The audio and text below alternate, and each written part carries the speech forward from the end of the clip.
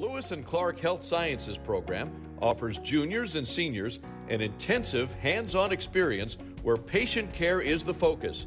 Taught by two professional nurses, students are immersed in a hands on two semester program where they're trained to work with real patients in a variety of healthcare settings such as hospitals, senior care facilities, rehab centers, and schools. During the first semester, students utilize state of the art technology designed to learn and retain anatomy and medical terminology.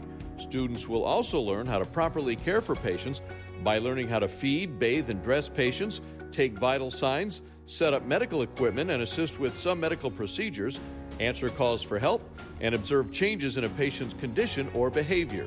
We practice on each other and do everything from like brushing teeth to transferring patients out of bed. Muscle, tissues, bones, skin, like we've just been learning a lot of things that I wouldn't learn in a normal classroom. Lewis and Clark students are taught professional skills expected by area hospitals and learn how to use patience, understanding, compassion, and empathy with patients. Beginning in February, students are assigned to their first of three medical rotation sites. They're excited to welcome Lewis and Clark students because of the intensive and thorough training received.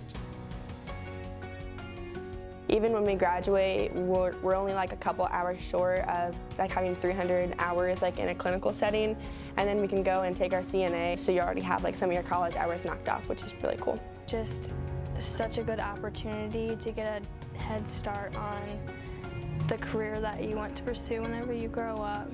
To learn more about the Lewis and Clark Health Sciences program, please visit the Lewis and Clark website or arrange a tour or shadow experience through your school counselor.